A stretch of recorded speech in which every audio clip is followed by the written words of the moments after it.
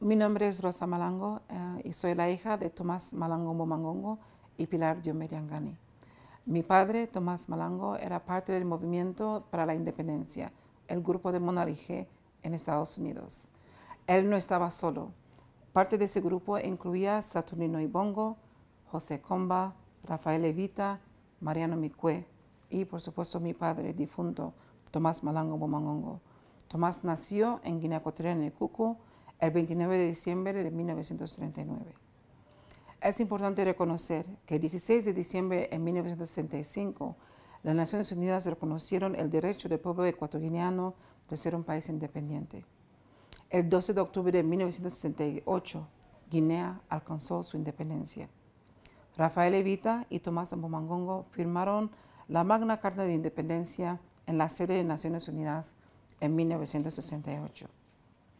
Desafortunadamente, el primer presidente de la República, el presidente Macías, llevó el país a un episodio muy triste, donde perdimos toda nuestra infraestructura y todos nuestros servicios. En 1979, en seguimiento al golpe de libertad dirigido por el presidente Obiangema, mi padre fue uno de los políticos, asilados políticos refugiados que volvió al país. La Guinea Ecuatorial que yo conocí en 1979 era un país que necesitaba asistencia humanitaria, necesitaba ayuda de todo el mundo para todo, para la infraestructura, para la luz, para las carreteras, para los servicios sociales, educación, salud, hasta comida importábamos.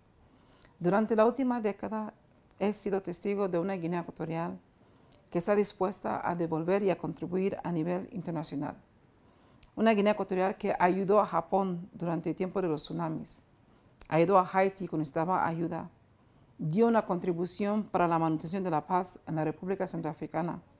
Y también colaboró cuando se movilizaba la ayuda médica para los países de África del Oeste afectados por ébola.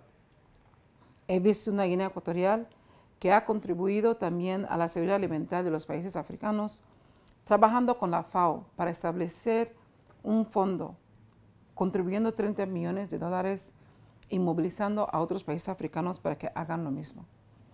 La Guinea Ecuatorial, que mi padre, el difunto Tomás Malango Bomangongo, vio nacer en las Naciones Unidas en 1968 y que él me dijo a mí que se iba a transformar un día en el Kuwait de África, hoy, en 2018, ha cumplido 50 años.